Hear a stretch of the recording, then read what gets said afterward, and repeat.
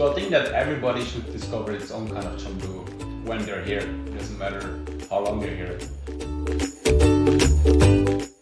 Hello, my name is Dieter. I come from Belgium. I'm in Chengdu for over 15 years, 14 years. Uh, I mostly run a social media company and I do lots of uh, things in my bar, lots of events. I have a craft beer bar open for more than 10 years.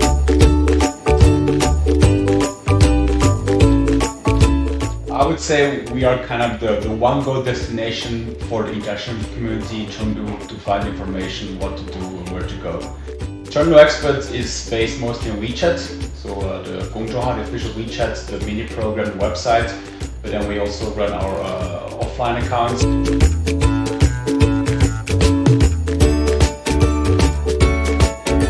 For Chengdu, the FISU World Games are of course a really big event. I think recently we've been posting more interesting things, informative articles to let people know what to do, where to go in Chengdu. So we've done a few articles about uh, touristic spots in the city.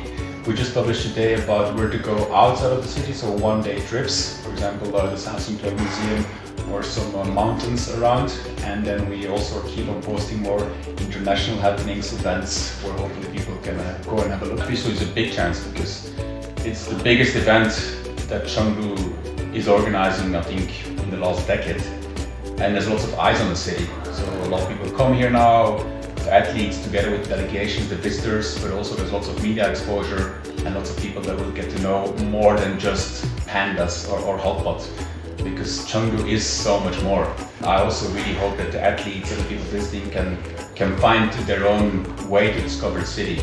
I really would recommend them to, to maybe go with some local people, let them take it around, uh, not just only go to the touristic spots, but just do a city walk. Go from, I don't know, Taikoo Li to Renmin Gongyuan, to People's Park, and, and just go your own way, go in the small alleys, find out the, the, the local things, the happenings. Uh, it doesn't always have to be following the, the, the, main routes. So I think that everybody should discover its own kind of Chengdu when they're here. It doesn't matter how long they're here.